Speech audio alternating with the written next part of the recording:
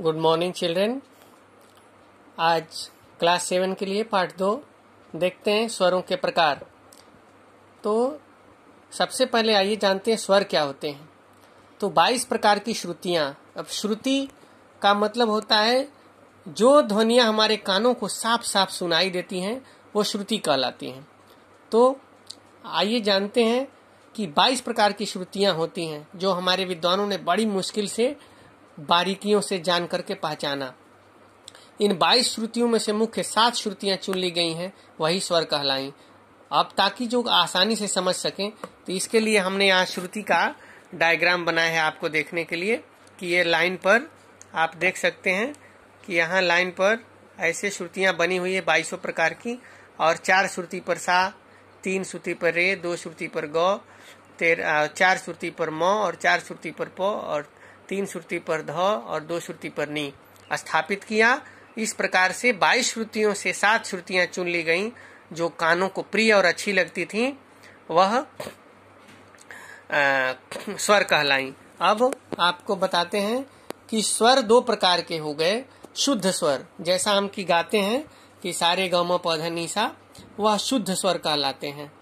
तो शुद्ध स्वर अपने स्थान पर जैसे हैं वैसे ही गाए बजाए जाते हैं। और विकृत स्वर दूसरा होता है। दूसरा विकृत स्वर का मतलब विकृत का मतलब जो अपने स्थान से आगे पीछे हिलता डुलता हो। तो ये विकृत स्वर दो प्रकार के हो गए। पहला हुआ कोमल विकृत, जो स्वर अपने स्थान से आगे पीछे हिलते डुलते रहते हैं, उनमें जो स्वर पहले गाए बजाए जाते हैं, वही कोमल स्वर कहलाते हैं।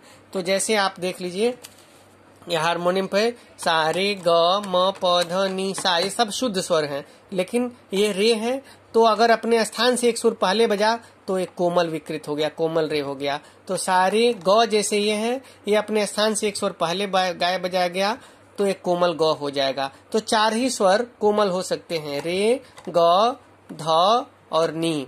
तो नी कोमल होगा तो ये हो जाएगा, ध कोमल होगा तो ये होगा और गौ कोमल होगा तो ये होगा, रे कोमल होगा तो ये होगा। इस तरह से चार सुर ही कोमल होते हैं। उसके बाद होता है तीव्र विकृत। जो सुर अपने स्थान से एक सुर बाद में गाय बजाया जाता है, वह तीव्र विकृत कहलाता है। वह सिर्फ़ म है, एक सुर। जैसे म है तो एक स्वर बाद में ये गाया जाएगा, बजाएगा, ये हो जाता है। और शुद्ध स्वर हमेशा सा और प हमेशा शुद्ध ही रहते हैं। इसलिए ये बदलते नहीं है। इस तरह से सात सुर हो गए।